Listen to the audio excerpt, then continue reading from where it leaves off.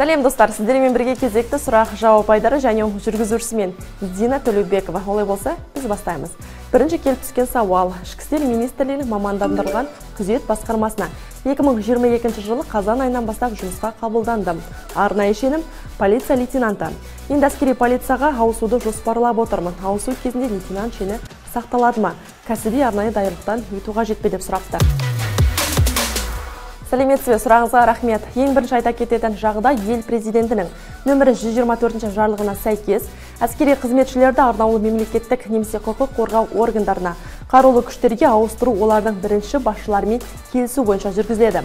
Ал енді шеніңізге келетін болсақ әскери қызмет және әскери қызметшінің мәртебесі туралы қазақстан республикасы заңының 20 бабына сәйкес әскери атақ уәкілетті органның бірінші басшысы айқындайтын қайта аттестаттау тәртібімен беріледі. Сондай ақ әскери полицияға ауысқан жағдайда әскери полиция мамандарын даярлау орталығына бір айлық курстан өтуіңіз керек. Бұл курстан аталған қызметке орналасқысы келетін барлық үміткерлер өтеді. Курсты сәтті аяқтап тағылымдамадан өткеннен кейін ғана қызметке орналаса аласыз. Келесі сырым есімді аккаунт қолданыстан келген сауал. Әскери шен алу бойынша сауал дейді. Келісімшарт бойынша әскери қызметшілер лауазымға отырғаннан кейін қанша уақыт ішінде шенді алуға болады дейді.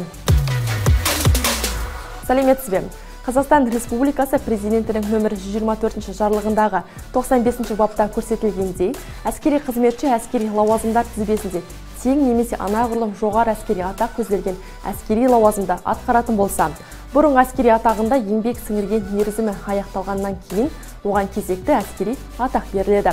Ал сержанттық лауазымнан офицерлік лауазымда отыруы аталған заңның 89 бабындағы 5 тармақта көзделген. Яғни офицерлер құрамының әскери атағы жоқ жоғарғы білімі бар. Штат бойынша офицерлер құрамының әскери атағы көзделген лауазымға келісімшарт бойынша әскери қызметке кірген адамға тиісті әскери лауазымға тағайындалған кезде офицерлердің әскери лауазымдарында үздіксіз бір жыл әскери қызмет өткергеннен кейін ғана лейтенант шені беріледі. Келесі қанат есімді аккаунт қолданушысынан келген сауал. Алматы гарнизондағы әскери бөлімге 196 бойымен алады ма? Жасым 20-да деп жазыпты. Сәлеметсіз бе қанат? Сіздің бойыңыз әскери қызметті өткеруге еш кедергі емес. Алайда сіз әскерге шақырылушыға қойылған талаптарға сай келуіңіз керек.